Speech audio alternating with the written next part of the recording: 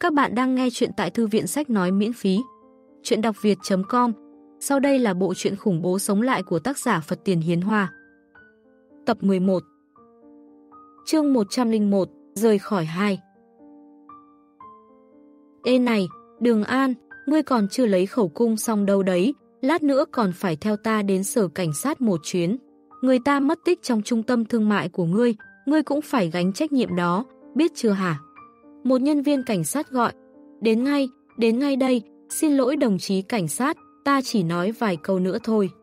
Ông chủ đường nói mấy câu xin lỗi, rồi quay lại nói tiếp, người anh em, sau này vẫn mong giúp đỡ nhiều, kẻ hèn này là đường an. Sau này có thời gian thì ghé qua công ty ta một chút, công ty của ta cũng ngay đây thôi, lần sau có thời gian ta sẽ mời ngươi ăn cơm. Dương Gian nhìn thấy cảnh này trong lòng có chút cảm khái. Ông chủ đường này đúng thật không hổ là người làm ăn, rất biết cách lôi kéo mối quan hệ. Tầm mắt xa xôi hơn so với người khác rất nhiều. Chẳng trách hắn làm ông chủ, còn tên họ Lý kia chỉ có thể làm giám đốc. Được thôi, có thời gian ta sẽ ghé qua chỗ ông chủ đường. Dương Gian nhận lấy danh thiếp, hắn cảm thấy thêm một mối quan hệ sau này có lẽ sẽ có ích. Ít nhất ông chủ đường này là một kẻ lắm tiền, sau này có túng thiếu thì tìm hắn mượn một ít, tin rằng hắn cũng sẽ rất vui vẻ cho mượn. Có điều, tiếp theo mình phải đi đâu đây? Dương Gian bước đến giao lộ, chốc lát lại cảm thấy mờ mịt. Về nhà sao? Đừng có giỡn vậy chứ, trong nhà còn đang bị quỷ ám đó, cho dù lá gan hắn có lớn cỡ nào cũng không dám ở lại. Sẽ chết người đấy. Xem ra chỉ có thể tìm chỗ nào đó tạm dừng chân trước đã, sau đó đợi nghiêm lực tìm được người mua rồi bắt đầu lo chuyện giao dịch, nhưng trước lúc đó bắt buộc phải hàn cái thứ này lại, hàn kín luôn mới được. Dương Gian lấy ra một cái hộp được bọc bằng giấy bạc màu vàng. Đó không phải giấy bạc, mà là giấy thép vàng. Tuy rằng cái hộp này không lớn, nhưng lại nặng chịu, nặng phải đến mấy kg. Nhưng mà ai có thể ngờ được, trong cái hộp được, đúc bằng vàng dòng này lại đang giam giữ một con quỷ đây. Ngươi đi đâu đó, không phải ngươi có xe sao? Sao lại không lái xe đi, Giang Diễm vẫn theo kịp được, nàng đột nhiên hỏi. Ta nghèo kết xác thế này, lấy đâu ra xe chứ, xe đạp còn chẳng có nữa là. Dương Gian nói, lại nói bà chị này, ngươi cứ theo ta làm gì chứ. Giang Diễm cười híp mắt nói với Dương Gian, trước đây thì ngươi không có thật, nhưng giờ ngươi có rồi còn gì, ngươi quên là đã kiếm 8 triệu từ trong tay la đại sư đó sao. Hắn không đủ tiền, nên đã gán cho ngươi một chiếc xe, còn có mấy thứ như phỉ thúy, Đồng hồ gì đó, ở trong phòng camera giám sát ta đã nhìn thấy cả rồi. Ngươi nhắc tới ta mới nhớ, ta đúng là đã kiếm được một chiếc xe. Dương gian lục lọi trong túi quần, một đống thứ linh tinh trong đó, chính xác là có một cái chìa khóa xe. Hắn bấm một cái, trong một hàng dài những chiếc xe đâu bên vệ đường, một chiếc SUV Mercedes-Benz hết sức hầm hố đang sáng đèn. Ngươi kiếm bộn rồi, đây là chiếc Mercedes-Benz nhập khẩu, giá thị trường phải đến 5 triệu, tên La Đại Sư đó lần này đúng là lỗ nặng rồi. Hai mắt Giang Diễm vụt sáng, lập tức nhận gian gay.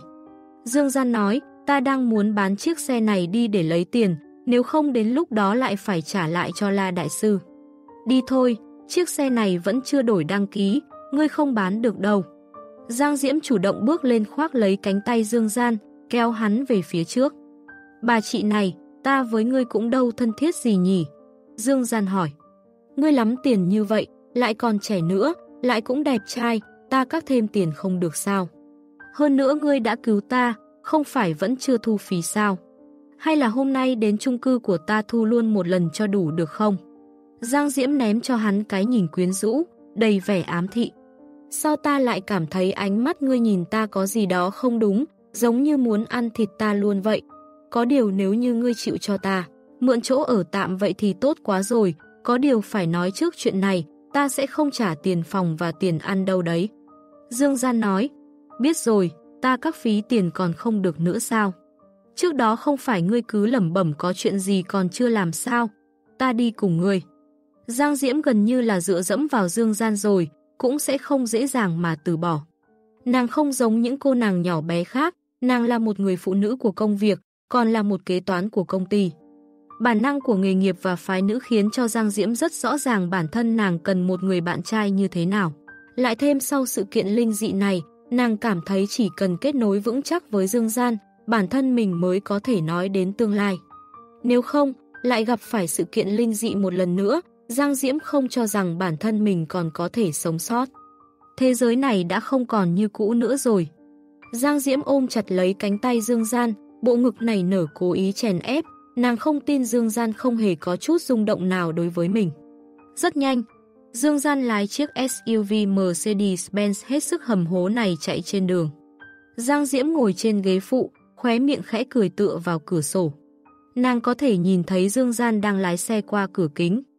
Tuy rằng hơi ít tuổi, nhưng mà cũng có việc gì đâu chứ. Trong lòng Giang Diễm thầm nói. Tuy nhiên, một giây sau, cánh tay Dương Gian đột nhiên nhấc lên một cách mạnh mẽ, một tay túm chặt cổ Giang Diễm, sức lực quá mạnh gần như khiến nàng có chút không thở nổi. Khụ khụ, ngươi làm cái trò gì thế hả? Giang Diễm dãy dụa theo bản năng. Dương Gian vẫn đang lái xe quay đầu sang nhìn nàng, vừa rồi ta bỏ sót mất một điểm. Con quỷ trong trung tâm thương mại đó rốt cuộc là có đầu hay không? Nếu như không có vậy mọi chuyện đều ổn, nếu như có, vậy cái đầu của con quỷ sẽ ở đâu cơ chứ? Ta, ta làm sao mà biết được, ngươi không thể dịu dàng một chút được sao? Giang, Diễm nói, xin lỗi, vừa nãy có chút đa nghi, nhưng vẫn phải xác nhận lại một chút. Dương Gian nói, ta không muốn đến phút cuối cùng lại bị con quỷ đó lật ngược thế cờ. Lực đạo trong tay hắn khẽ nới lỏng, bàn tay hắn cẩn thận sờ vào cổ Giang Diễm. Xác nhận lại lần nữa nàng không bị đổi đầu. Lần sau có muốn xác nhận thì cứ nói trước một tiếng, ta cũng đâu phải sẽ không phối hợp với người. Giang Diễm có chút oán trách nói, nhưng nàng không dám kháng cự lại sự kiểm chứng của Dương Gian. Bởi vì chỉ có hắn mới có thể đối phó với quỷ, chỉ cần liên quan đến sự kiện linh dị, nàng sẽ phối hợp vô điều kiện, vì dù sao bản thân nàng cũng không muốn xảy ra chuyện gì. Dương Gian sờ vào cổ nàng, xác nhận lại vài lần, ngoại trừ cảm nhận được lớp da mịn màng êm ái ra, thì không có bất cứ dấu vết gì của việc đổi đầu. Vậy cũng có thể nói, trong khoảng thời gian hắn rời khỏi phòng camera giám sát, Giang Diễm không xảy ra vấn đề gì. Không phải ngươi, có lẽ do ta quá đa nghi rồi. Dương Gian nói. Giang Diễm yếu ớt nói, người khác ngồi trên xe thì hết sờ đùi đến sờ ngực, chưa từng thấy ai lại sờ cổ như ngươi, có bản lĩnh thì ngươi sờ chỗ này đi. Nàng nắm lấy tay Dương Gian đặt lên chiếc đùi thon gọn của mình.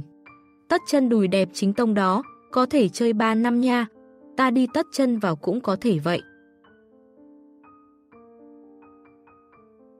Các bạn đang nghe chuyện khủng bố sống lại của tác giả Phật Tiền Hiến Hoa tại Thư viện Sách Nói miễn phí, chuyện đọc việt.com Chương 102, Dò hỏi 1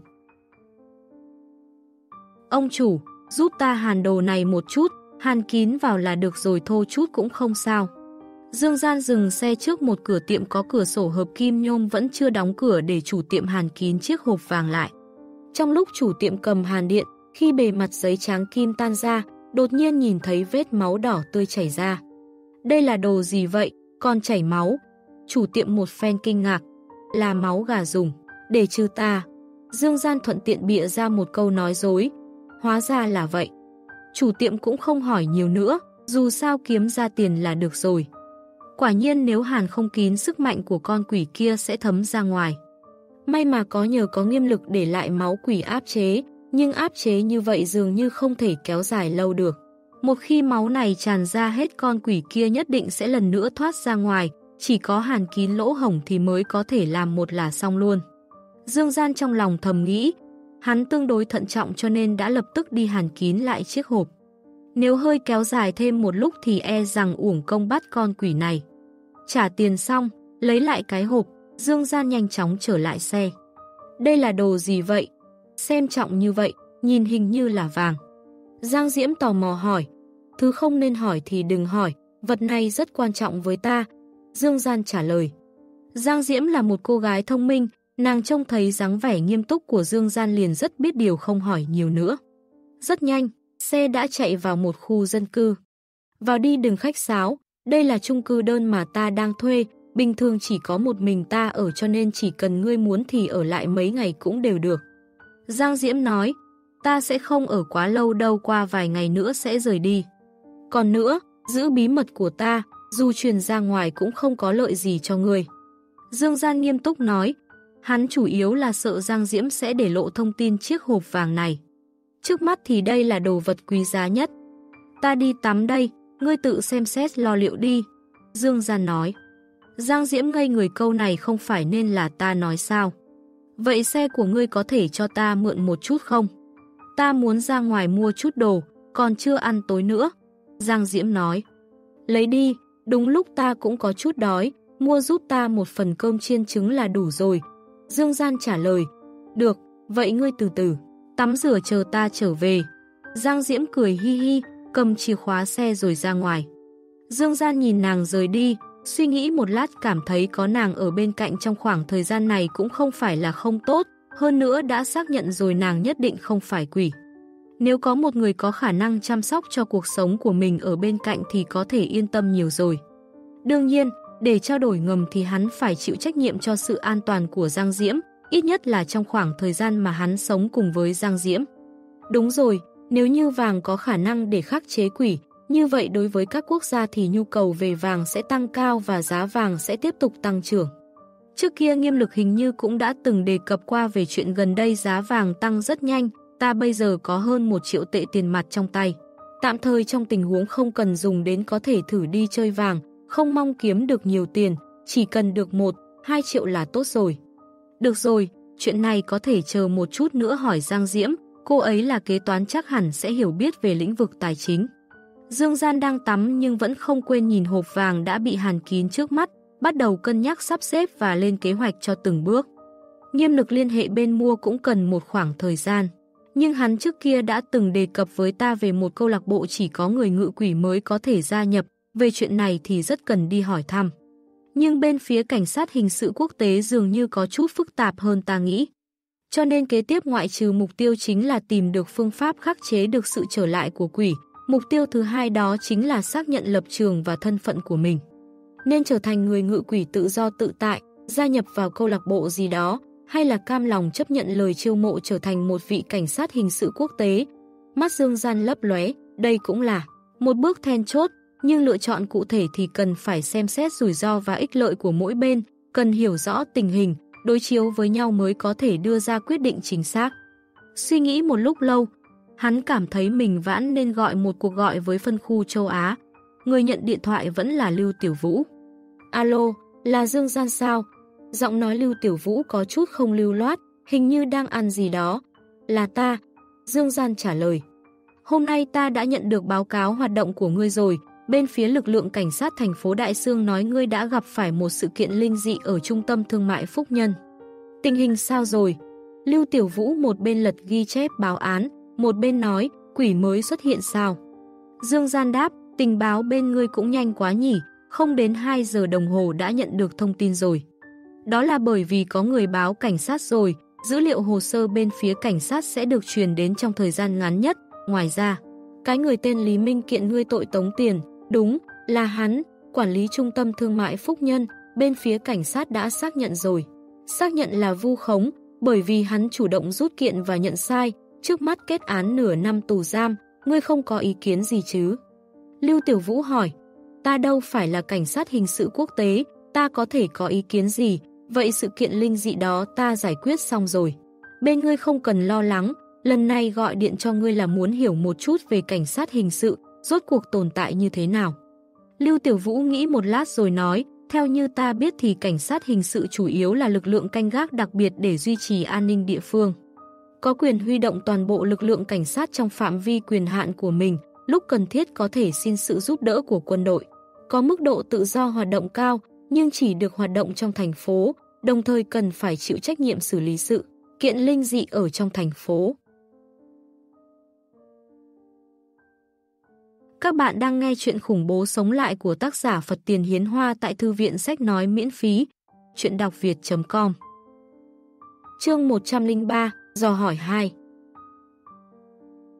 Chỉ vậy thôi, ngươi muốn hỏi về đãi ngộ chứ gì?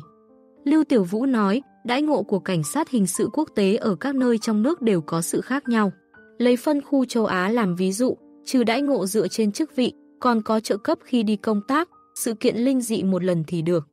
Một triệu tệ, bắt đầu là 200 tệ, một triệu tệ là tiêu chuẩn trợ cấp mới nhất, ngoài ra còn có quyền sử dụng 100kg vàng. Nếu thành công bắt nhốt thu thập một con quỷ, ngoại trừ một lần ghi công ra, quốc gia sẽ khen thưởng 10 triệu tệ, đồng thời tăng thêm phần hoàng kim phát cho. Còn về mấy cái như cấp cho nhà ở miễn phí, chăm sóc người thân, đó là những chuyện ở địa phương, ta sẽ không nói chi tiết cho ngươi ở đây. Còn về mặt tin tức thì sao? Dương Gian nói, ác quỷ xuất hiện khắp mọi nơi trên đất nước, đừng nói với ta là các nước không hề nghiên cứu và phân tích sự tồn tại của quỷ đấy. Phương diện này vẫn ở giai đoạn thử nghiệm, ta cũng không biết, nhưng có thể khẳng định một điều, một khi có bất kỳ thành quả nghiên cứu nào ra đời, các ngươi sẽ là người sớm nhất biết được. Dương Gian ngẫm nghĩ, quả nhiên, dự đoán là đúng, các nước đang nghiên cứu về mặt này, nhưng không đạt được bước tiến đột phá, vẫn đang trong thử nghiệm. Cũng hoặc là có thành quả rồi, nhưng chưa công bố ra. Có điều phúc lợi khi trở thành cảnh sát hình sự quốc tế thực sự tốt, tuy rằng số tiền không quá nhiều, nhưng cũng đủ để một người không có nỗi lo về sau. Quan trọng nhất là quyền lợi và địa vị của cảnh sát hình sự quốc tế rất cao. Có thể cho ta biết nếu như trở thành cảnh sát hình sự quốc tế sẽ có nghĩa vụ và trách nhiệm là gì không? Dương Gian nói, Lưu Tiểu Vũ đáp, nếu như ngươi muốn trở thành cảnh sát, hình sự quốc tế, bên ta có thể sắp xếp người tiếp xúc với ngươi, bảo cho ngươi biết mọi thứ ngươi muốn biết. Nhưng trở thành cảnh sát hình sự quốc tế chính thức cần phải trải qua hệ thống huấn luyện nghiêm ngặt, còn có đánh giá tinh thần, không dễ dàng như vậy đâu. Đặc biệt là đánh giá tinh thần, mảng này vô cùng quan trọng, ta đã hỏi mấy lần về trạng thái tinh thần của ngươi. Vì trong đại đa số tình huống, người ngự quỷ đều sẽ bị ác quỷ vô tình âm thầm ảnh hưởng, loại ảnh hưởng này sẽ không thể loại bỏ. Có một vài người bị ảnh hưởng nghiêm trọng quá độ sẽ xuất hiện rối loạn tinh thần, suy sụp, thậm chí có xu hướng tự hủy hoại bản thân. Còn có một vài người không chịu nổi áp lực tinh thần quá lớn, từ đó bị tinh thần phân liệt, bắt đầu từ bỏ bản thân biến thành một kẻ hoàn toàn điên loạn. Ý ngươi muốn nói người ngự quỷ đa số đều là tinh thần không bình thường. Dương Gian nhíu mày. Lưu Tiểu Vũ đáp, không, không thể xem họ là kẻ bất bình thường, biết đâu trong mắt họ chúng ta mới là kẻ bất bình thường. Họ chỉ là bị ác quỷ ảnh hưởng, cái này ngươi có thể hiểu chứ, bản thân họ đều không biết bản thân mình sẽ bị biến thành dạng gì. Ngoài ra, bản ghi cuộc nói chuyện giữa ta và ngươi sẽ được gửi đến các chuyên gia phân tích để phân tích, đánh giá trạng thái tinh thần của ngươi. Nhưng đáng mừng là trạng thái tinh thần của ngươi rất tốt, mức độ ảnh hưởng của ác quỷ đối với ngươi không lớn, vì vậy ta hy vọng ngươi trở thành cảnh sát hình sự, góp sức cho đất nước. Về mặt này ta sẽ xem xét lại, được rồi, hôm nay nói đến đây thôi, lần sau có chuyện sẽ tìm người. Dương Gian hỏi xong sau đó cúp máy. Nghe tiếng Dương Gian ngắt điện thoại, Lưu Tiểu Vũ cũng ngừng ghi chép, nàng cau mày. Lưu Tiểu Vũ, cái tên Dương Gian đó sao rồi? Hắn là một hạt mầm tiềm năng, đừng từ bỏ, theo sát vào, mới trở thành người ngự quỷ chưa bao lâu liền thành công giải quyết một sự kiện linh dị, báo cáo. Đó ta xem rồi, không tồi, trong vòng nửa tiếng đồng hồ thành công bắt được một con quỷ cấp hạn chế, dù là một cảnh sát hình sự lâu năm có kinh nghiệm phong phú cũng khó mà làm được. Tuy rằng là vì hợp tác với người ngự quỷ tên nghiêm lực đó, nhưng không thể phủ nhận công lao của hắn. Bên cạnh, đội trưởng Triệu Kiến Quốc đi tới nghiêm trang nói. Trong tay hắn cầm vài tấm ảnh, đều là chụp từ thiết bị giám sát, trong đó có một tấm là ảnh Dương Gian xuống xe đi hàn chiếc hộp vàng đó. Đội trưởng, hắn đã từng tiếp xúc với người ngự quỷ khác rồi, chỉ sợ trong lòng đã nảy sinh cảm xúc dao động, chưa chắc sẽ thuận lợi gia nhập cảnh sát hình sự. Lưu Tiểu Vũ nói, nhưng hắn cũng không có ác cảm với cảnh sát hình sự, đúng không? Suy cho cùng mạng của hắn là Chu Tránh cứu giúp, hắn rất có thiện cảm với cảnh sát hình sự, ta có thể nhận thấy điều đó. Nếu như là người khác có khi trực tiếp chửi rủa, nói lời khó nghe về cảnh sát hình sự như cái gì mà là tay sai nhà nước, chó săn. Còn nữa thậm chí còn muốn lần theo đường dây điện thoại bóp chết nhân viên trực điện thoại, dọa nhân viên trực điện thoại trực tiếp cúp liên lạc luôn. Triệu Kiến Quốc cười nói, Lưu Tiểu Vũ nói, đội trưởng nói đúng, ta nhất định nắm chắc tên Dương Gian này, khiến hắn gia nhập cảnh sát hình sự quốc tế. Chú ý chừng mực, đặc biệt là quan tâm chút đến trạng thái tinh thần của hắn, suy cho cùng áp lực tinh thần trở thành người ngự quỷ là rất lớn, sau khi biết rằng bản thân sắp chết. Con người rất dễ đi vào con đường sai trái, ngươi không thể lấy nghĩa lớn ép buộc Dương Gian phải tuân theo, nên bắt đầu bằng việc hợp tác đôi bên cùng có lợi, trước mắt như vậy là tốt rồi.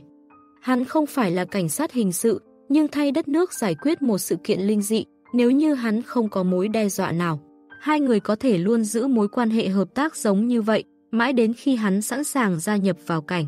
Sát hình sự quốc tế, Triệu Kiến Quốc nói.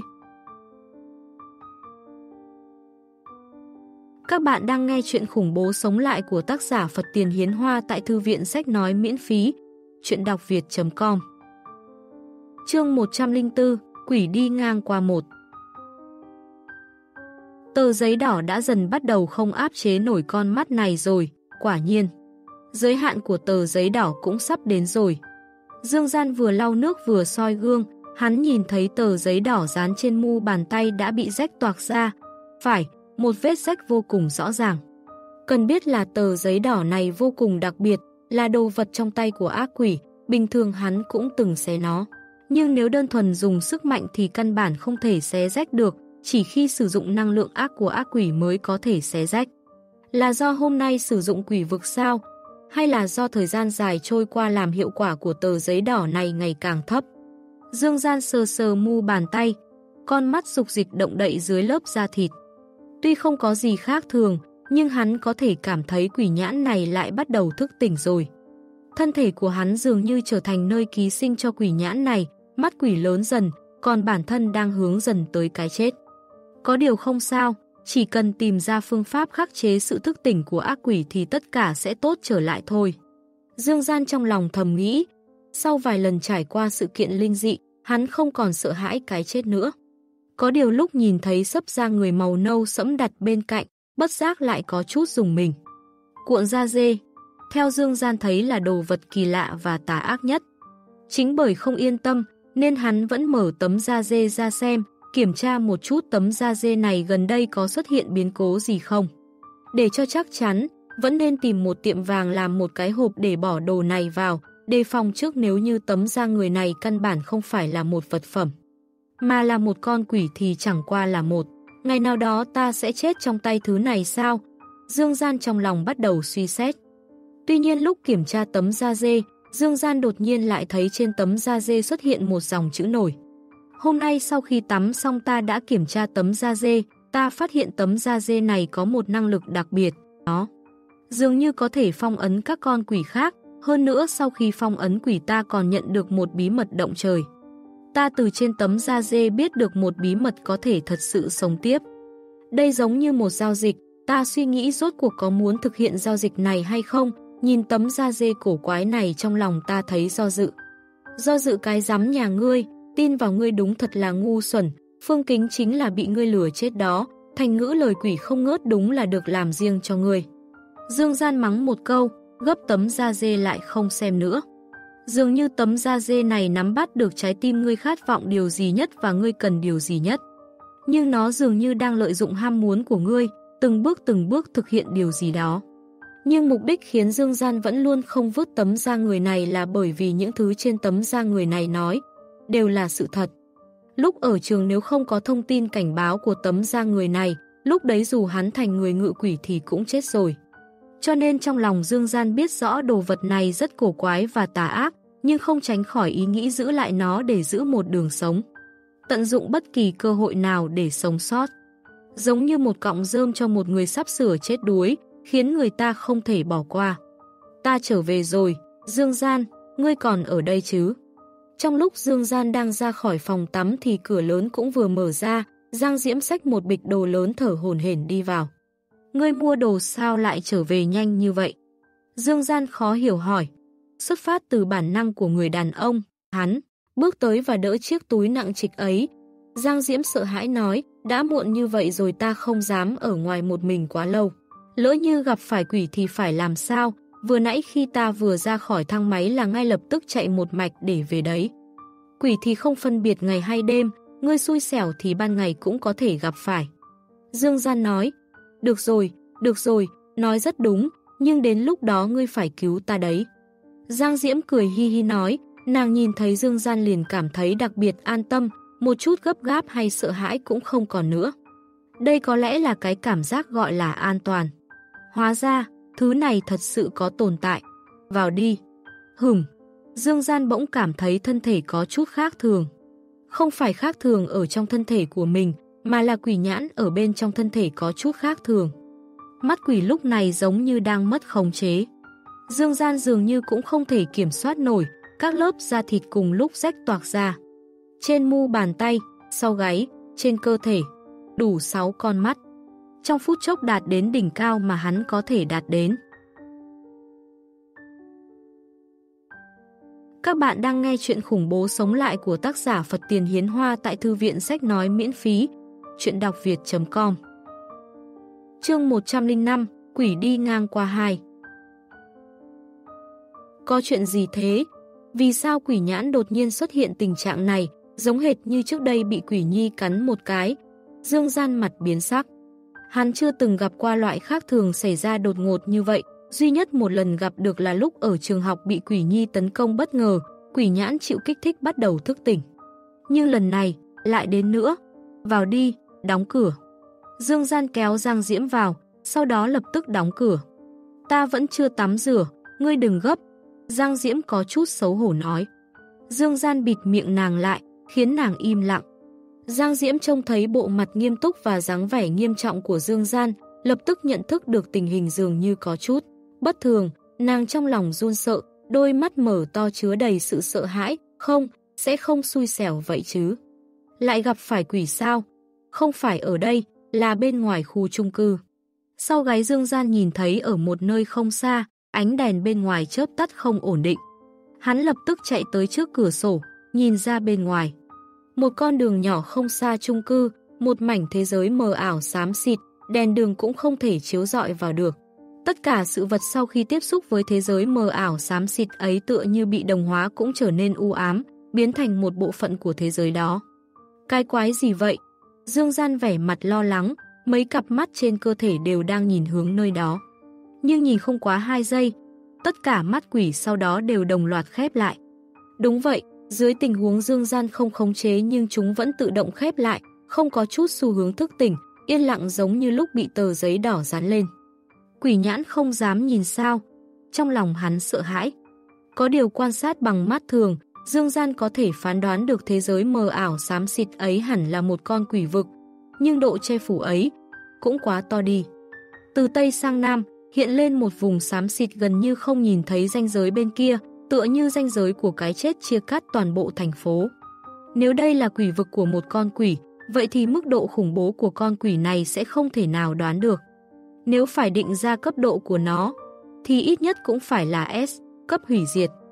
May mắn, khá là may, quỷ vực đó chỉ là xuyên qua từ giữa đường, không lan tràn vào trong khu chung cư, quỷ nhãn chắc hẳn chỉ là sớm cảm nhận được loại động tĩnh lớn mà thôi. Dương Gian trông thấy điều này không hề sợ hãi, mà còn thở phào nhẹ nhõm. Nhưng lỡ như quỷ vực xuyên thẳng qua tòa nhà này. Vậy thì tối nay không cần nói nữa, phòng trừng hắn sẽ chết đột ngột. Sao? Sao cơ? Xảy ra chuyện gì rồi? Có phải lại? Có quỷ xuất hiện rồi không? Giang Diễm không dám thở mạnh, cẩn thận nghiêng người qua, thấp giọng hỏi. Không có liên quan gì với chúng ta, chẳng qua chỉ là một con quỷ đi ngang qua, nó rất nhanh sẽ rời đi thôi. Dương Gian nhìn thấy quỷ vực đó bắt đầu tiêu tán. Thế giới mờ ảo xám xịt cũng dần trở nên rõ ràng hơn. Do có sự hiểu biết về quỷ vực nên hắn biết con quỷ này đã đi rồi, ngươi cho rằng quỷ vực vẫn còn ở đây, thực tế thì trời mới biết con quỷ này đã chạy đến chỗ nào. Suy cho cùng quỷ vực là có thể tùy ý xuất hiện ở bất cứ đâu. Tuy nhiên ở quỷ vực cần thời gian để biến mất hoàn toàn. Dương Gian nhìn thấy một cảnh tượng hư ảo. Một góc thế giới mờ ảo xám xịt hiện ra ấy, tựa như ảo ảnh vậy. Một ánh nến đong đưa trong thế giới mờ ảo xám xịt, ngọn lửa màu xanh kỳ dị. Dưới cây nến trắng là giá cắm nến màu vàng, không giống như công nghệ cổ xưa, là làm theo phong cách châu Âu hiện đại. Thậm chí có lẽ được chế tạo trong tháng này. Dưới ánh nến phản chiếu một đôi tay, trắng bóng mịn màng, đẹp không tỉ vết.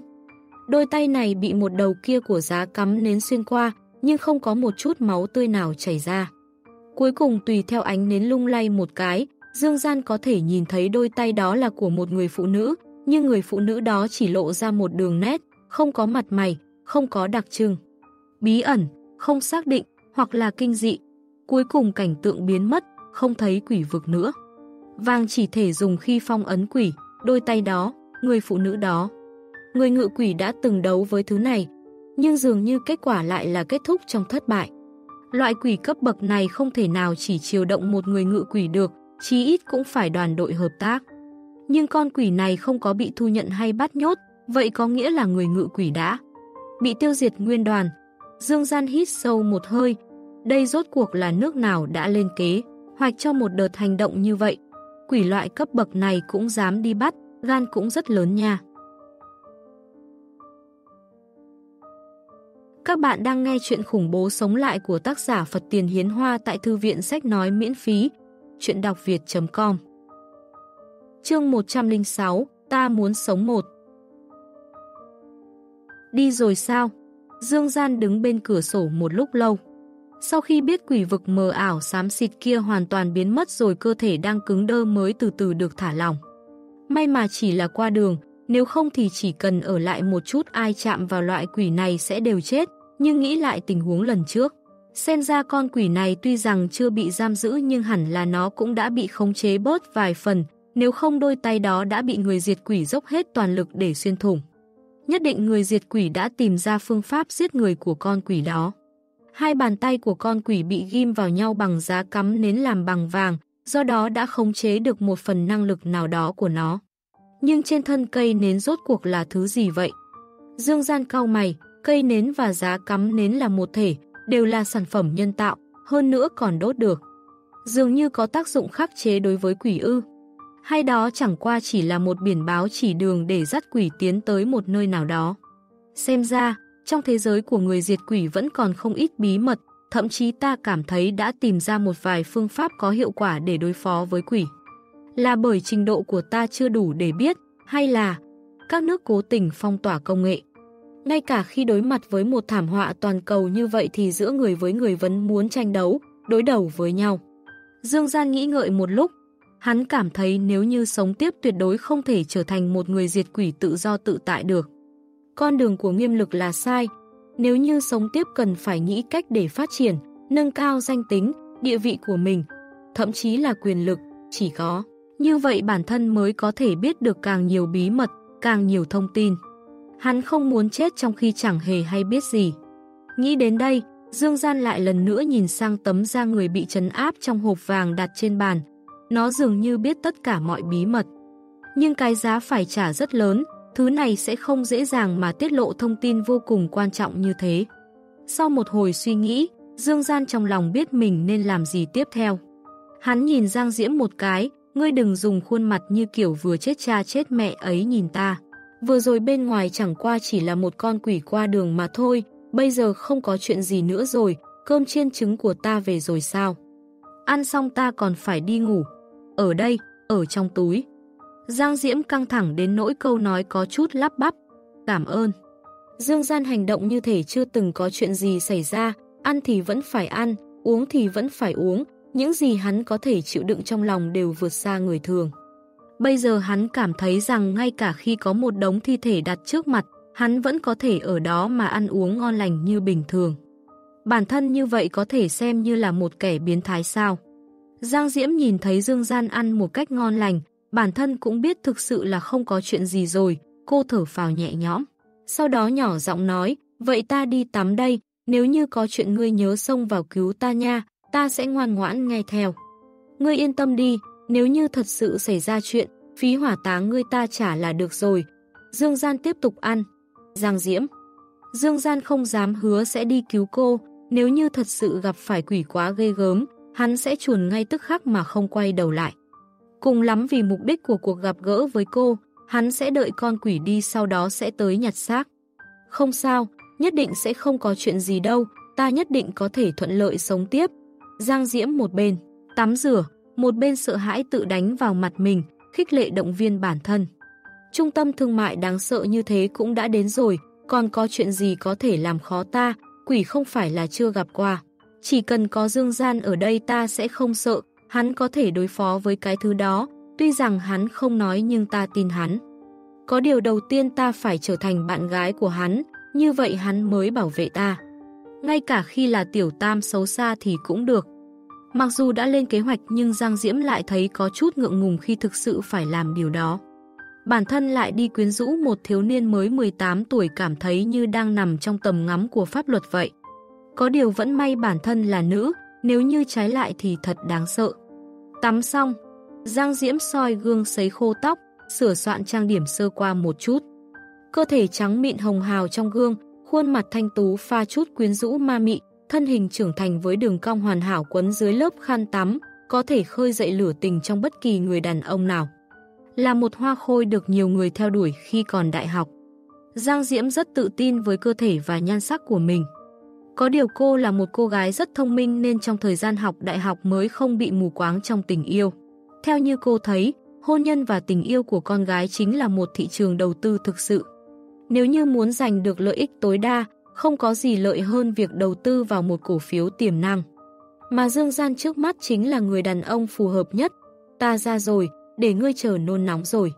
Với một giọng điệu cám dỗ, Giang Diễm từ phòng tắm đi ra với gương mặt ửng hồng, nhưng trong phòng không có ai trả lời cô. Giang Diễm mang theo một sự nghi hoặc đi tới, cô nhìn thấy cơm hộp ăn hết trên bàn. Lại nhìn lên lầu, phát hiện Dương Gian đã nằm trên giường rồi. Cũng không đợi ta nữa. Giang Diễm nghĩ thầm trong lòng, cô choàng một chiếc áo tắm cứ thế mà đi lên tầng. Trông thấy Dương Gian thân hình vạng vỡ nằm như chiếm trọn chiếc giường khiến cô không khỏi mà trợn tròn mắt. Khiến EQ cũng phải hạ thấp. Dương Gian, ngủ rồi sao? Giang Diễm chủ động gối đầu bên cạnh, dựa vào vòng tay của hắn, nhẹ nhàng nói, không có. Dương Gian mở mắt ra. Giang Diễm cười nói, ta biết ngươi vẫn chưa ngủ có phải đợi ta lâu lắm rồi phải không? Bụng ngươi bây giờ có đói không? Có muốn chị gái đây cho ngươi ăn không? Bây giờ ta không đói, ta ăn cơm rồi. Dương Gian nói. Giang Diễm ôm lấy cổ của hắn nói, cơm thì có gì ngon nhưng lẽ nào chưa nghe nói qua vẻ đẹp làm người ta nhìn thôi cũng biết no rồi sao? Các bạn đang nghe chuyện khủng bố sống lại của tác giả Phật Tiền Hiến Hoa tại Thư viện Sách Nói miễn phí. Chuyện đọc việt.com Chương 107 Ta muốn sống 2 Đừng động loạn, cơ thể ta bây giờ đang có chút không thoải mái. Trên trán Dương Gian đổ mồ hôi lạnh, tác dụng phụ của việc chế ngự ác quỷ lại xuất hiện rồi.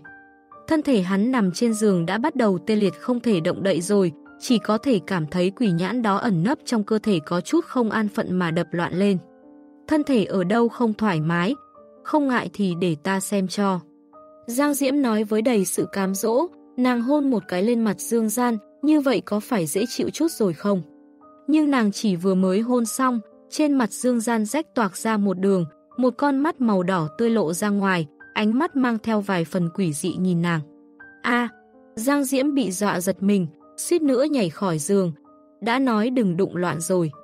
Dương Gian bình tĩnh nói, ta bây giờ đang không khống chế nổi con quỷ trong cơ thể, nếu như bây giờ nó muốn làm gì với người ta cũng chẳng có cách nào đâu. Sao? Sao lại như vậy? Giang Diễm che miệng, kinh hãi nói. Dương Gian nói, ta sở dĩ có thể đối phó với ác quỷ là bởi vì tự mình biến thành ác quỷ. Nếu không ngươi nghĩ rằng loài người chúng ta dựa vào đâu giao thiệp với ác quỷ? Dựa vào đầu óc hay là dựa vào dũng khí? Hay ngươi tưởng rằng trên thế giới này thật sự có có cái loại công năng đặc biệt như đạo thuật pháp thuật sao? Có được năng lượng của ác quỷ thì cần phải trả giá, đây chỉ là một trong số đó.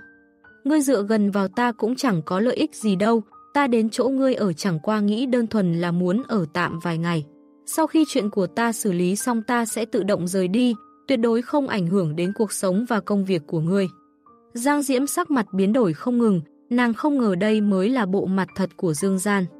Vậy, vậy ngươi sau này sẽ còn giúp ta không? Do dự một lúc lâu, tuy nàng muốn rời đi nhưng vẫn như cũ không xuống giường. Dương Gian thẳng thừng nói, sẽ không, ta không có quyền và nghĩa vụ phải cứu ngươi, không, không chỉ mình ngươi người khác cũng như vậy. Lần ở trung tâm thương mại chỉ là ngươi may mắn gặp phải ta đi giải quyết sự kiện linh dị để kiếm tiền. Nhưng ta không muốn chết, ta muốn sống, tiếp tục mà sống tốt. Giang Diễm cẩn thận từng chút cuộn tròn vào vòng tay của Dương Gian. Về sau quỷ vẫn sẽ xuất hiện, đúng không? Đúng vậy, sự kiện linh dị sẽ càng ngày càng nhiều. Dương Gian không hề giấu giếm nói, sau này đoán chừng người trên khắp thế giới đều sẽ biết, chỉ là bây giờ đại đa số mọi người vẫn còn mờ mịt chưa biết gì hết. Chẳng ai biết bản thân ngày nào sẽ chết, có lẽ là một cuộc điện thoại, có thể là một tiếng gõ cửa, có lẽ là trong giấc mơ. Vậy nếu như ta ngủ với ngươi, ngươi sẽ giúp ta chứ? Giang Diễm không dám quay đầu nhìn con mắt đó. Sẽ không. Dương Gian rất thẳng thắn đáp. Giang Diễm nói, vậy ngươi như thế nào mới chịu giúp ta? Ngươi phải có ích đối với ta, có thể giúp ta xử lý một vài chuyện hoặc trợ giúp ta làm một vài công việc, chẳng hạn như ngươi thay ta ghi hình giám sát trong trung tâm thương mại. Như vậy, ta sẽ bảo vệ ngươi không để cho ngươi bị giết chết, đây chính là trao đổi ngang giá. Dương Gian khẽ quay đầu nhìn nàng, cứu người vô nghĩa sẽ chỉ hại chết bản thân. Vậy ta có thể làm thư ký riêng của ngươi, ta là kế toán, biết rất nhiều thứ đó. Tài chính, ngươi biết làm cái đầu tư cổ phiếu gì đó không? Dương Gian hỏi, biết, ta có được kinh nghiệm giao dịch khi đi thực tập. Giang Diễm đáp, biết liên hệ với những khách hàng lớn không? Biết, ta có một vài nguồn lực khách hàng rất chất lượng, nếu như ngươi muốn kinh doanh về lĩnh vực thần quái ta có thể giúp ngươi. Phiên dịch thì sao? Phiên dịch tiếng Anh đối với ta thì không thành vấn đề. Nhìn không ra ngươi còn là một người ưu tú chuyên nghiệp. Dương Gian có chút kinh ngạc. Không thể không thừa nhận cô gái này thực sự rất có năng lực, có chút vượt quá trong dự đoán của hắn. Đương nhiên, không thể bài trừ khả năng nói khoác. Nếu như tạm thời ngươi không muốn đi làm, ngươi có thể vì công việc của ta, ta thực sự là có chút chuyện cần ngươi đi làm, ngoài tiền lương, ta sẽ cho ngươi sự bảo vệ thích đáng. Dương Gian nghiêm túc nói, hắn có thể thử làm một thành viên nòng cốt. Suy cho cùng, hắn sau này nếu như trở thành một cảnh sát hình sự, không thể nào đơn thương độc mã xuất trận được. Thật sao? Giang Diễm có chút vui mừng xen lẫn kinh ngạc quay đầu lại. Dường như, Dương Gian không có khiến người khác sợ hãi như vậy. Chẳng qua là thử một chút thôi, ta vẫn chưa có kinh nghiệm về lĩnh vực này. Dương Gian nói, thời gian cũng không còn sớm nữa rồi, ta ngủ đây. Cảm giác tê liệt trên cơ thể bắt đầu mất dần. Lần này so với lần trước tốt hơn nhiều rồi. Xem ra tờ giấy đỏ ở đây vẫn còn tác dụng.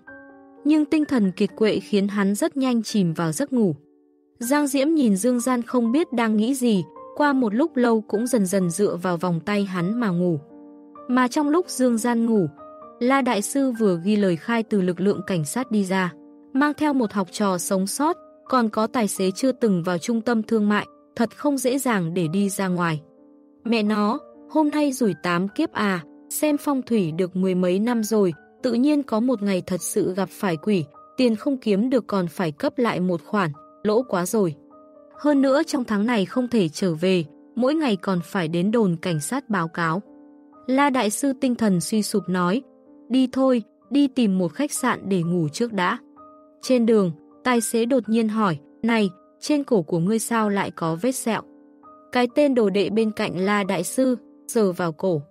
Dường như có thể cảm nhận lớp da rách ra, máu thịt bên dưới lộ ra ngoài. Hắn vẻ mặt bình tĩnh đáp, không, không sao, có thể là không cẩn thận quệt phải. Ồ, tài xế cũng không hỏi nhiều, tiếp tục lái xe đi. Mà trong lúc tài xế quay người, sự vui vẻ trong mắt người này dần biến mất và trở nên trống rỗng tê dại, sắc mặt không biết lúc nào đã trắng bệnh không một chút máu.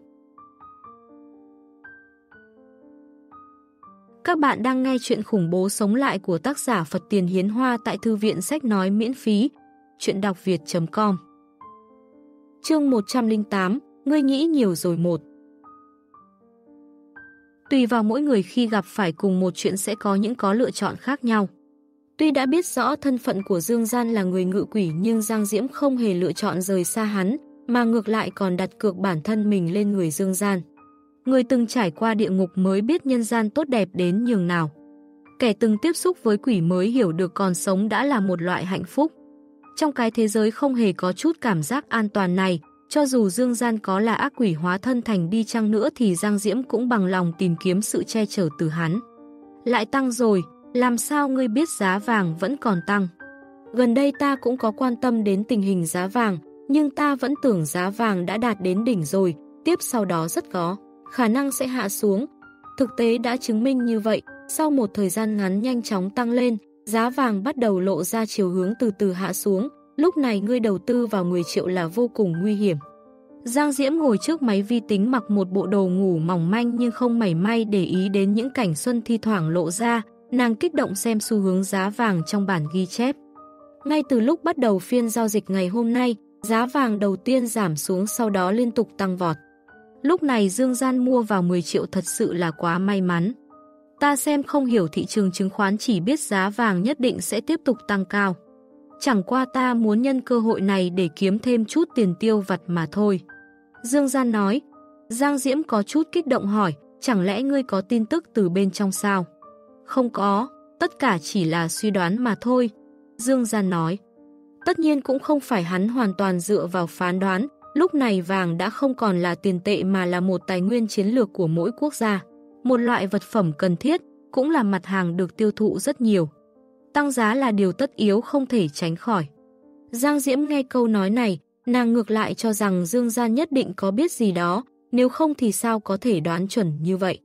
Nói thế nào đi chăng nữa thì hắn cũng là cảnh sát hình sự, là người mà đội trưởng Lưu cũng phải cúi chào mỗi khi gặp mặt chứ không đơn giản chỉ là một bảo vệ nhỏ bé bình thường. Nghĩ đến đây nàng không nhịn nổi đầu tư thêm vàng cho Dương Gian, còn bỏ ra mấy trăm ngàn tiền tiết kiệm của mình đầu tư vào. Hơn nữa lựa chọn thứ vừa rủi ro vừa có lợi nhuận cao như vàng làm đòn bẩy cũng giống việc dùng số tiền vốn nhỏ mà kiếm được lợi nhuận lớn nhất. Dĩ nhiên rủi ro cũng rất lớn. Nếu ngươi khẳng định vàng sẽ tăng, ta cũng sẽ dùng phương thức giao dịch rủi ro cao nhất cho ngươi kiếm một khoản lớn. Hơn nữa ta cũng góp tiền vào, tránh khi thua lỗ ngươi lại mắng ta. Giang Diễm nói, ngươi tự xem xét rồi làm đi, chỉ cần ngươi mua vàng, thứ khác không liên quan đến ta. Dương Gian tin tưởng vào phán đoán của mình, nói, biết rồi, cứ giao cho ta. Giang Diễm trở nên hăng hái, không quan tâm nàng làm thế nào để giao dịch cổ phiếu. Dương Gian càng có nhiều thời gian rảnh rỗi lướt xem trang web Cảnh sát Hình sự Quốc tế. Trang web đặc thù đó do các quốc gia thành lập chỉ cho phép Cảnh sát Hình sự Quốc tế truy cập vào. Không vì cái gì khác chỉ đơn giản để tìm hiểu một chút kiến thức liên quan. Nhưng trên trang web Dương Gian lại không hề thấy tin tức mới nhất về vụ ác quỷ đi ngang qua ngày hôm qua. Sự kiện lớn như vậy các nước không thể không có một chút phản ứng nào. Xem ra đều cố ý giấu nhẹm đi chuyện lớn này, không muốn gióng chống khua chiêng để lộ ra ngoài. Hắn lắc lắc đầu, cảm thấy có chút thất vọng. Các nước hợp tác không chặt chẽ, chẳng trách cảnh sát hình sự quốc tế cũng phân chia theo khu vực. Trông như đang đoàn kết nhưng trên thực tế vẫn là mỗi bên tự quản một phương. Trong thời gian 3 ngày này Dương Gian rất ít ra ngoài mà vẫn luôn ở trong chung cư của Giang Diễm. Còn Giang Diễm lại vô cùng nỗ lực bởi theo như nàng nói, 10 triệu khởi đầu đó đã biến thành hơn 20 triệu rồi. Bây giờ mỗi ngày nhìn những con số đó đều có chút hưng phấn đến không ngủ được, tựa như số tiền đó đều là của mình nàng vậy. Có điều sáng nay Dương Gian đã nhận được một cuộc điện thoại. Là của Trương Vĩ gọi đến, nói là có chuyện vô cùng nghiêm trọng mới tìm đến hắn, còn bảo Dương Gian chọn một chỗ để gặp mặt. Dương Gian suy nghĩ một chút liền cảm thấy vẫn nên đi ra ngoài xem cũng tốt. Ta có chút chuyện đi ra ngoài một chuyến. Ngươi đi đâu? Đi dạo ở gần đây. Dương Gian nói. Giang Diễm vội vàng hỏi, vậy tối nay ngươi có quay về không? Tất nhiên rồi. Dương Gian nói xong liền đi ra khỏi cửa. Các bạn đang nghe chuyện khủng bố sống lại của tác giả Phật Tiền Hiến Hoa tại Thư viện Sách Nói miễn phí. Chuyện đọc việt.com Chương 109 Ngươi nghĩ nhiều rồi hai Lái xe trong đô thị huyên náo luôn rất khó để tưởng tượng được nhiều sự kiện thần quái thường xuyên xảy ra trên thế giới này. Thành phố Đại Sương cũng trải qua mấy lần, nhưng dường như phần lớn đa số mọi người đều không có bất kỳ cảm giác nào, phải làm gì thì làm cái đó, không có chút ảnh hưởng nào đến cuộc sống của bản thân. Có lúc không biết gì cũng là một loại hạnh phúc. Dương gian hạ kính cửa sổ xe xuống nhìn dòng người đi lại tấp nập trên đường, trong lòng không khỏi thở dài. Rất nhanh sau đó hắn đã đến phố đi bộ, chỗ hẹn với Trương Vĩ. Trương Vĩ đã đến từ sớm, lúc này hắn đang đứng trong đám đông, hình như đang có tranh chấp với người khác, trông có vẻ vừa mới cãi vã xong. Trương Vĩ ta đây đứng đây tranh cãi với ngươi không phải vì chứng minh ta tài giỏi hơn người, cũng không có nghĩa là ta tài giỏi. Mà là để cho tất cả các ngươi biết đồ mà Trương Vĩ ta mất đi nhất định sẽ tận tay lấy về. Hắn đưa ngón tay chỉ chỉ xuống đất, giọng điệu hùng hồn vang vọng, Trương Vĩ, ngươi bị cái gì vậy? Mới sáng sớm đã gọi điện thoại tìm ta rốt cuộc là có chuyện gì? Dương Gian kêu một tiếng. Trương Vĩ nghe thấy có người gọi mình, vừa quay đầu nhìn thấy Dương Gian đã đến liền vui mừng. Dương Gian, ta ở chỗ này, mấy người phiền phức các ngươi tránh ra, tránh ra, chuyện hôm nay tạm thời cho qua. Vừa nói xong liền chỉ vào một người nói, ta không phải sợ ngươi, cũng không mượn cớ để chạy trốn mà là ta không muốn khiến cho bạn bè nhìn thấy bộ mặt hung ác của ta, ngày hôm nay coi như ngươi may mắn. Ngươi đang cãi lộn với ai à? Vì chuyện gì mà trông như sắp đánh nhau đến nơi rồi vậy? Dương Gian hỏi. Trương Vĩ cười gần nói, có một học sinh cấp 3 thái độ cực kỳ kém, mua có một ly kem mà cũng chen hàng của ta nên ta vừa. Mới cho hắn biết thế nào gọi là tàn nhẫn cay nghiệt của người trưởng thành. Bỏ đi, không nhắc đến nữa. Đi, vào quán cà phê đó ngồi, đúng lúc ta có chuyện tìm ngươi bàn bạc một chút. Trương Vĩ nói, sau đó hai người đến quán cà phê ngồi. Dạo gần đây ngươi đang bận gì thế? Còn làm ở trung tâm thương mại đó không? Hôm qua ta đi qua đấy, nghe nói ở chỗ đó xảy ra vụ án mạng nhưng đã bị phong tỏa hoàn toàn rồi, ông chủ đó hình như tên Đường An nhỉ. Trương Vĩ hỏi, ngươi làm thế nào mà biết rõ như vậy? Dương Gian vô cùng kinh ngạc hỏi. Trương Vĩ đáp, trung tâm thương mại đó là của cha tôi xây mà, trước đó ta đã hỏi thăm nghe ngóng một chút từ chỗ cha. Ngươi khai thật đi, rốt cuộc chỗ đó có phải bị quỷ lộng hành rồi không? Ngươi đoán rất đúng, đúng thật là có quỷ lộng hành. Dương Gian nói, chết tiệt, biết ngay là vậy mà, những chỗ đột nhiên bị phong tỏa giới nghiêm như vậy thì 8-9 phần 10 là bị quỷ phá rồi. Trước kia trường học cũng bị như vậy, khu chung cư đó cũng thế, đến cái trung tâm thương mại này vẫn vậy. Bây giờ ta cảm thấy trái đất này đã không thể ở được nữa rồi, nếu như có thể di dân lên sao hỏa ta sẽ là người đầu tiên báo danh. Trương Vĩ run rẩy sợ hãi, có điều bây giờ đã không có vấn đề gì rồi, chuyện ở đó đã được dàn xếp ổn thỏa. Đúng rồi, ngươi tìm ta đến để làm gì? Dương Gian hỏi. Trương Vĩ đáp, thực ra trước đó ta đã muốn tìm ngươi để hỏi một chuyện rồi. Chuyện gì? Dương Gian nói. Trương Vĩ nhíu mày thật sâu, thông qua vẻ mặt biểu lộ rõ rằng chuyện này không hề đơn giản, hắn thấp giọng nói. Chính là vào tối hôm qua, ta chơi PUBG trên máy tính đã xảy ra một chuyện kỳ quái, ta đoán có thể là do ác quỷ lộng hành. Nói không chừng, nó cũng gần giống như lời nguyền đáng sợ ở câu chuyện cũ trong diễn đàn kia của ngươi. Có thể nói cụ thể hơn được không? Dương Gian nói. Đó là vòng chung kết rồi, ta sống đến cuối. Cùng, góc bên phải không có lấy một người nào nhưng cuối cùng ta lại chết một cách ly kỳ, trên màn hình hiển thị nhiệm vụ thất bại. Nếu như chỉ là một lần thì còn có thể hiểu được, nhưng tới ba lần liên tiếp như vậy, ngươi cảm thấy có phải là có một con quỷ đang chơi game hay không? Ta cảm thấy không đúng sau đó bị dọa sợ không ngủ được suốt một đêm, bây giờ mí mắt cũng sắp không mở nổi nữa rồi, cho nên vừa rồi mới muốn mua một ly kem để tỉnh táo tinh thần. Trương Vĩ nói một cách nghiêm trọng. Dương Gian nghiêm túc đáp, ta cảm thấy ngươi đây không phải là gặp quỷ, mà là gặp phải. Hách, không phải chứ. Trương Vĩ kinh ngạc nhìn Dương Gian, thật sự là hách. Có khả năng là quỷ không? Dương Gian nói, ngươi nghĩ nhiều rồi, tuyệt đối không có khả năng. Đó chính là hách, ngươi bị hách chết đến ba lần. Hóa ra là vậy, ta còn tưởng gặp phải quỷ rồi chứ. Trương Vĩ rơi vào trong trầm tư sâu sắc. Các bạn đang nghe chuyện khủng bố sống lại của tác giả Phật Tiền Hiến Hoa tại Thư viện Sách Nói miễn phí. Chuyện đọc việt.com Chương 110 Tin nhắn của nghiêm lực 1 dáng vẻ dương gian nhìn Trương Vĩ giống như nhìn một kẻ não tàn. Chơi một ván game, bị người dùng kỹ thuật công nghệ giết chết lại cứ tưởng là gặp phải quỷ, sợ hãi đến nỗi cả đêm không ngủ được. Ngươi thật là xuất sắc nha, ngươi đến tìm ta chỉ vì chuyện này thôi sao? Dương Gian nói. Trương Vĩ gãi gãi đầu nói, còn có chuyện khác, lần trước sau khi chuyện ở trường học kết thúc, chúng ta chính là những người may mắn sống sót đúng không? Không sai đúng là như vậy, thì làm sao? Có ai khác xảy ra chuyện ngoài ý muốn gì sao? Dương Gian hỏi. Chuyện của Vương San San vừa mới kết thúc không lâu, nếu như người khác lại gặp phải chuyện gì thì thật đúng là là đen đủi hết sức. Cũng không phải cái gì ngoài ý muốn, là triệu lỗi đề nghị tìm một cơ hội tụ tụ tập thôi. Có một vài bạn học cũng bởi vì chuyện này mà chịu phải đà kích, rất lớn, họ muốn chuyển trường sang nơi khác học, chắc là không phải thành phố này rồi. Trương Vĩ nói, chuyển trường rời khỏi thành phố Đại Sương sao. Dương Gian hơi trầm ngâm suy nghĩ, hắn cảm thấy đây cũng là chuyện thường tình của con người. Trường đại học mà có chuyện quỷ lộng hành nghiêm trọng như vậy, người sống sót e rằng chẳng còn mấy ai có đủ dũng khí tiếp tục sống ở thành phố này. Thế nhưng, rời khỏi Đại Sương đến nơi khác sẽ tốt hơn sao? Không nhất định sẽ như thế. Sự kiện thần quái không phải chuyện của riêng từng khu vực đặc thù, mà là vấn đề mang tính chất toàn cầu.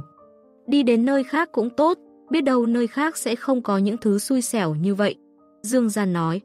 Hắn không giải thích rõ nguyên nhân trong đó bởi vì hắn cũng không thể khẳng định được đến cuối cùng thì rời khỏi thành phố Đại Sương hay lưu lại đây mới là cách tốt nhất.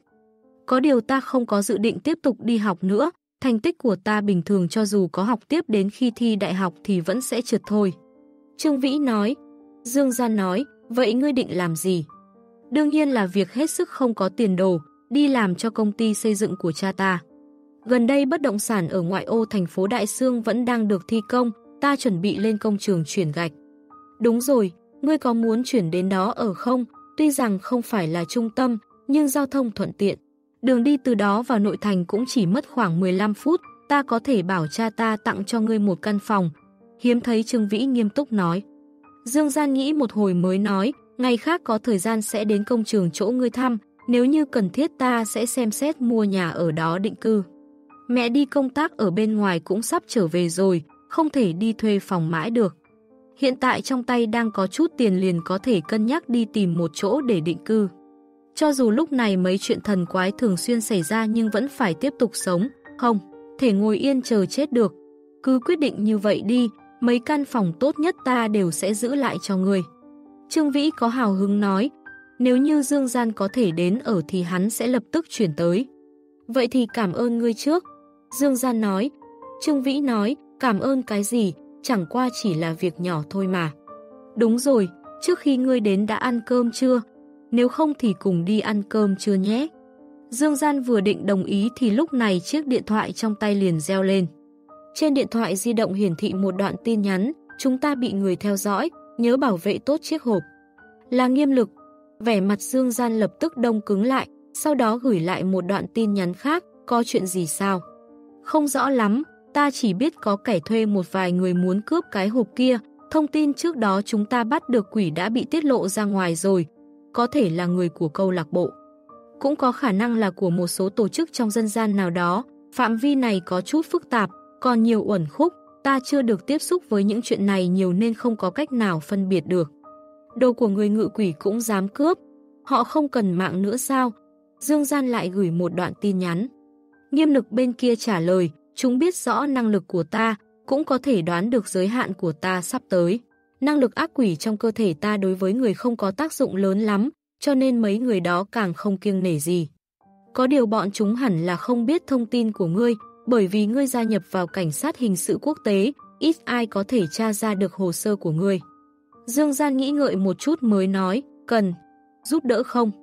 Ta tạm thời không cần, nhưng mà ta lo có người đã đi đến chỗ của ngươi rồi, nếu như bên ngươi có thể thuận lợi giải quyết thì tốt nhất đến giúp ta một tay. Ta mà chết thì khoản giao dịch này không hoàn thành được, người mua cũng đã liên lạc rồi. Nghiêm lực lại gửi một đoạn tin nhắn, đồng thời sau đó còn gửi đến một tọa độ định vị. Tình huống phức tạp hơn so với trong tưởng tượng đấy. Dương Gian cau mày đọc đoạn tin nhắn trên điện thoại.